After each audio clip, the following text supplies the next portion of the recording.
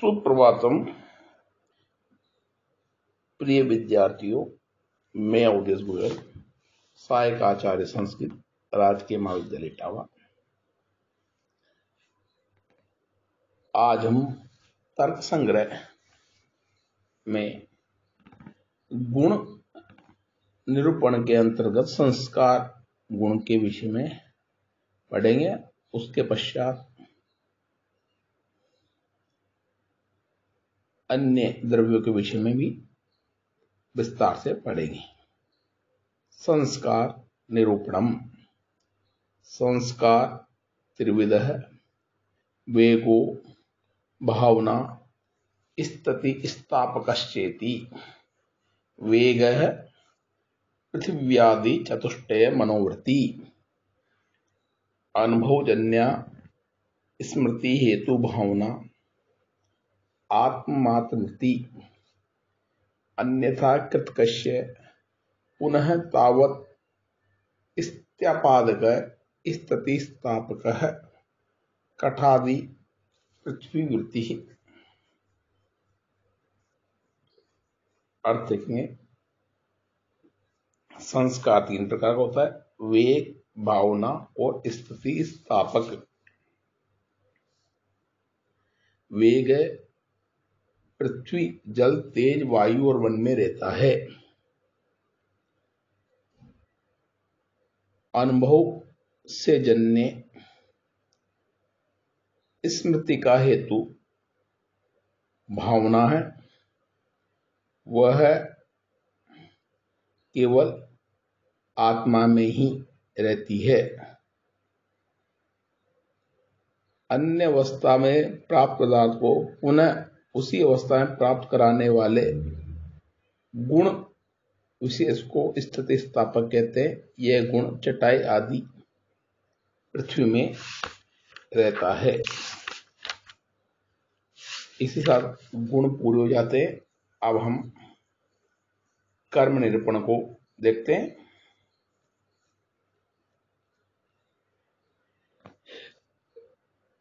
कर्म निरूपणम। चलनात्मकम कर्म उदरवदेश संयोग हेतु उत्क्षेपणम अधोदेश संयोग हेतु अपक्षेपणम शरीर सन्निकृष्ट संयोग हेतु आकुंचनम विप्रकृष्ट संयोग हेतु प्रसारणम।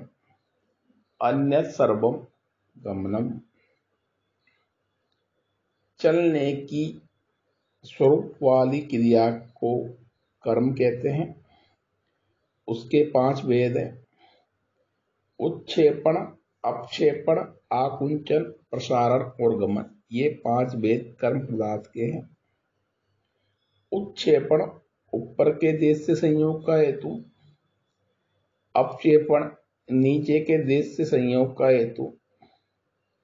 आकुंचन, निकट ले जाने का हेतु। प्रसारण दूर करने का हेतु इसके अतिरिक्त सभी कर्म गमन के अंतर्गत आते हैं।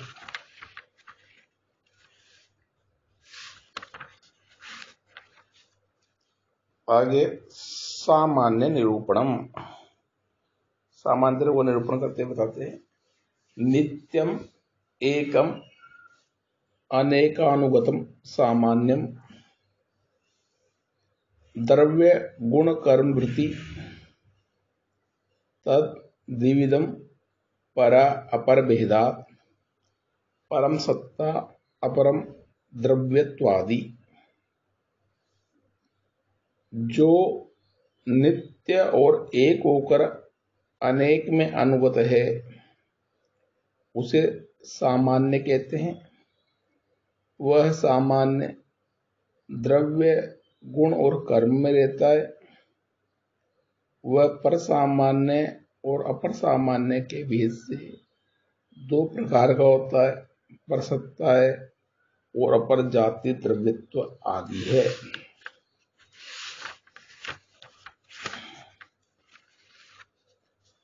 असमवाय निरूपणम।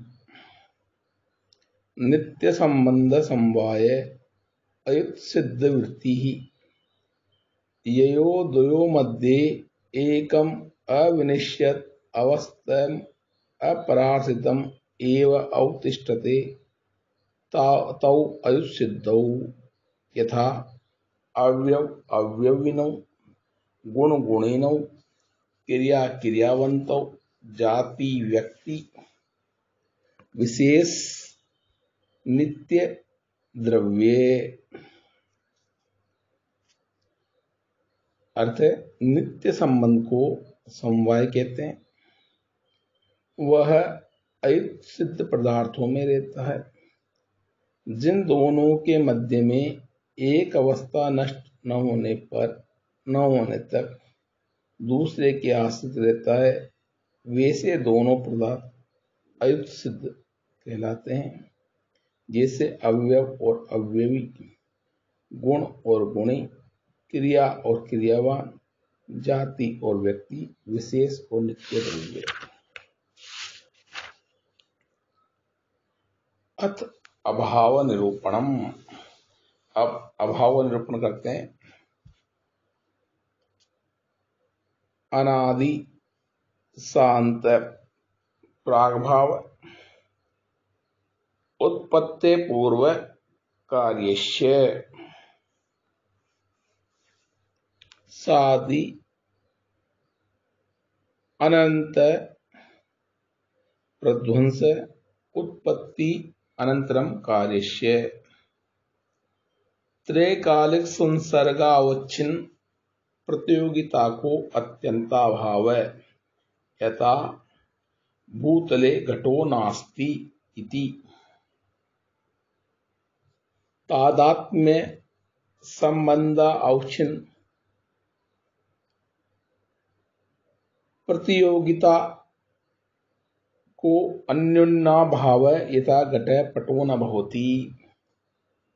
सर्वेशा पदार्थानां यथा यथम उक्तेषु अंतर्भाव सप्तेव पदार्थ इति सिद्धम। अर्थ देखेंगे सात पदार्थों में अभाव सातवां अंतिम पदार्थ है। उद्देश्य प्रकरण में अभाव को चार प्रकार का बताया गया था। प्राग भाव और ध्वंसाभाव अत्यंता भाव और अन्योन्ना भाव अब उन, उनका निरूपण कर रहे हैं। प्राग भाव कहता है? अनादि शांत है। जो, जिसका आदि नहीं है और अंत है, उस अभाव को प्राग भाव कहते हैं। वह कार्य की उत्पत्ति के पहले रहता है। जैसे यहाँ घड़ा नहीं है। अब घड़े का यहाँ अभाव, अनादि है। यानी उसका कोई भी समय निर्धारित कब से है, कोई भी नहीं है। और जैसे ही यहाँ घड़ा आ जाएगा, उस अभाव का यहाँ अंत हो जाएगा। तो इसलिए ये सा, ये अभाव अनादि है और अंत को प्राप्त होता है।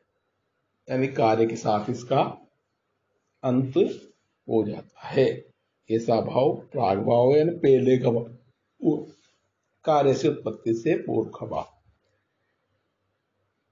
दूसरा, सादि अनंत प्रध्वंस उत्पत्ति अनंतम कार्य जिसका आदि है और अंत नहीं, उस भाव को प्रध्वंसा भाव कहते हैं।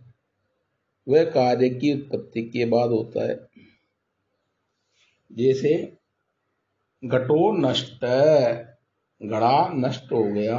अब यहाँ घड़ा था पहले, उसका नष्ट हो गया। अब वो वो अभाव कब खत्म होगा, इसका कोई मापक नहीं है। तो वो अभाव आदि है उसका यानी कार्य उसका आदि हो गया। यानी उसकी हम समय निर्धार करते कि कब कब से शुरू हुआ है? वो, भाई, दो क्षण पहले घटता जो भी है। लेकिन वो, अब वो जब शुरू हो गया तो वो अंत कब होगा, इसका कोई मापक नहीं है। तो ये है, कार्य की उत्पत्ति की बात होता है। कार्य था और कार्य जब नष्ट हो गया, तब ये उत्पन्न होता है।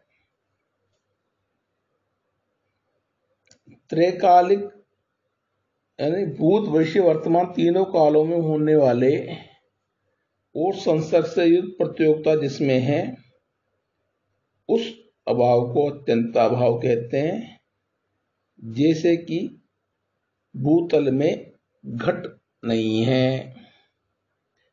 यहाँ पर भूतल में घट का अत्यंता भाव है।